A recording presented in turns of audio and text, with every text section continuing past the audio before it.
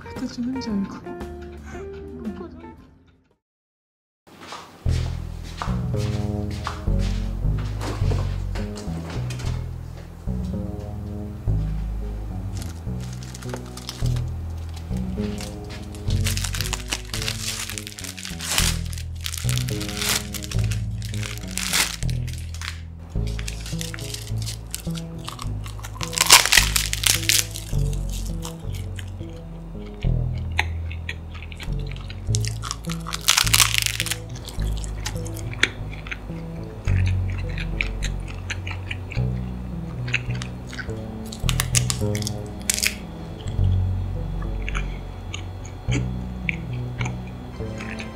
thank you